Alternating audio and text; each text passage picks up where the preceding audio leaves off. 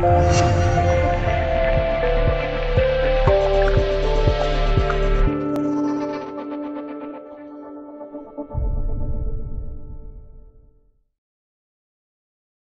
源：微信公众号账号，ID Z H A N H A O 六六八。马英九要支持两岸统一了。据海外网报道，台湾地区前领导人马英九七月二十一日在就两岸关系发表看法，称台湾不排斥统一，但要循序渐进，以和平方式推行。哟，马英九能说出不排斥统一这几个字，真的是很不容易的。因为之前就因为洪秀柱支持两岸统一，马英九等竟然剥夺了他竞选台湾地区领导人的资格，结果导致国民党在竞选中大败。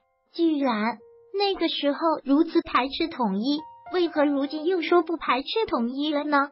马英九为了解释他的新主张，还借用了《三国演义》中的一句话来解释。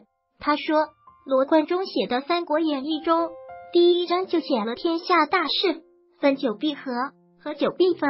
但罗贯中没有告诉大家分与合都要用武力打一仗，这似乎是中国历史的宿命。但他认为，当今时代的中国人应该要比老祖宗更有智慧，要学习实践以和平方式解决争端。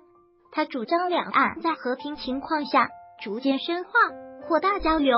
马英九认为，我们不排斥统一。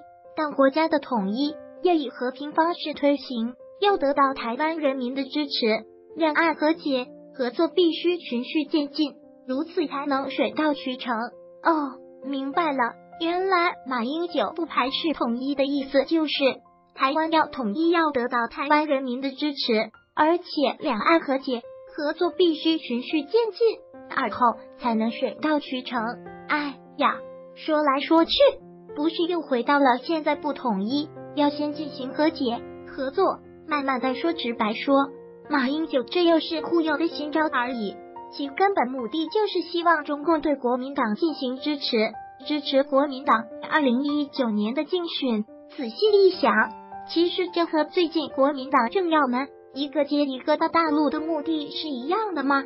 但是这次如果国民党不拿出一些真正的措施，特别是两岸关系的突破性措施，以吸引选民，根本不可能获得中共的大力支持。而没有中共的大力支持，国民党连挑战蔡英文的机会都没有。但是现在看，国民党这些老油条们都在打如意算盘，哪有什么突破的意思？所以依靠国民党搞统一，那真的是太靠不住了。与其耗费太多资源让国民党这些无能之辈上台浪费时间，不如顺其自然，择机无痛划算和高效。至于国民党要想获得大陆支持，那就拿出诚意，真的在统一上拿出自己的主张，和蔡英文死磕一把，这才像点样子。然而国民党就是扶不起的阿斗，这种机会太渺茫了。来看今天的热门话题。这个国家跟着美国暗算中国，如今到大媒全国崩盘，接受中国三十年援助繁荣至今的这国，一转身镜头靠美国背弃中国，如今全国动乱，面临崩溃，这个国家到底是谁？英和投美其中，你可以点阅读原文，加入军迷交流群，军迷朋友在群里聊。